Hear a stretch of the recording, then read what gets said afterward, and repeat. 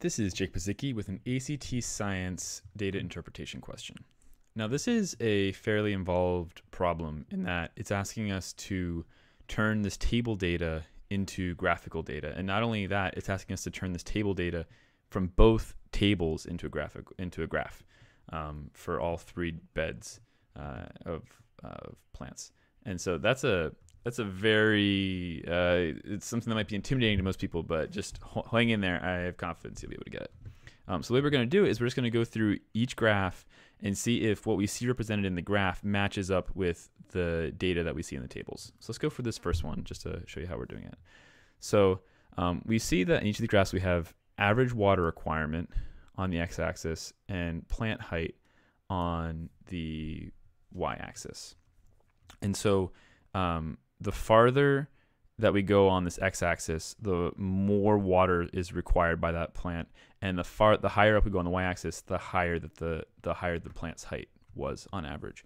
And so, um, what we're going to do what we're to do is look at uh, for this. Let's look at this one. Let's look at just bed one for example.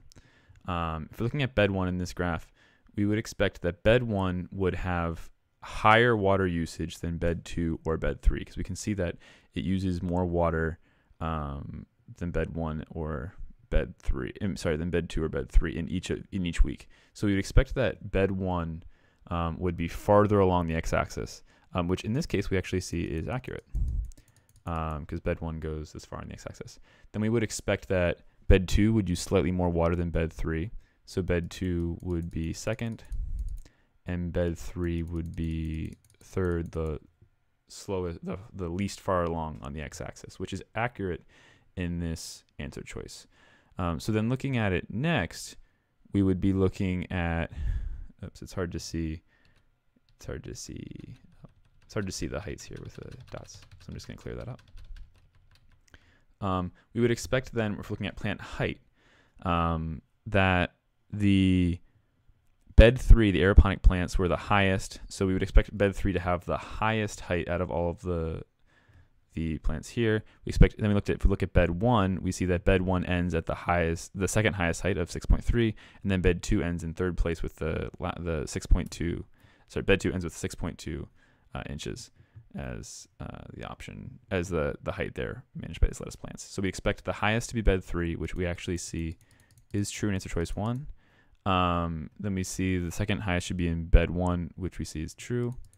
And then the third highest should be bed two, which is below it. So answer choice one is a good option actually, because it goes, it, it matches the data for what we'd expect from table one and table two. So let's look at our other options and see if we have the same scenario. So actually we can eliminate uh, answer choices B and C very quickly because we can see that they actually have the order for water requirement switched. So they have bed one using the least amount of water, as you can see because it's the least far along this x-axis here. Um, both of these have that same situation. And so we have to eliminate both of them because we know that bed 3 actually used the least amount of water, not the most. So these are both gone. And so it's between uh, answer choice A and answer choice D. And we see that answer choice D and A actually both have the same. Um, bed 1 is the most water. Bed 2 is the second most. Bed 3 is the third most.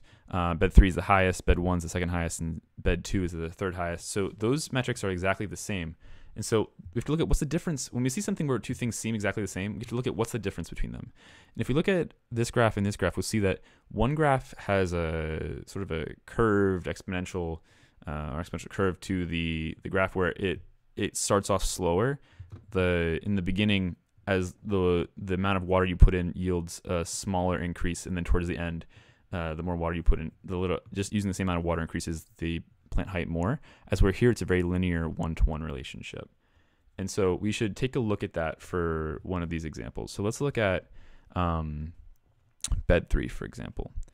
We see that um, uh, in the first week, the, uh, we put in 0.02 um, liters of water and it required 0.02 liters of water and used and grew zero inches. The next week we also also required 0.02 liters of water um, and required uh, and it gained 0.4 inches. The next week it used 0.03 liters of water and went 1.4 inches, which is almost which is over three times this. Uh, in week four, it went to 0.5, which is so not too much growth here in terms of the amount of water used, but it it doubles it doubles in size.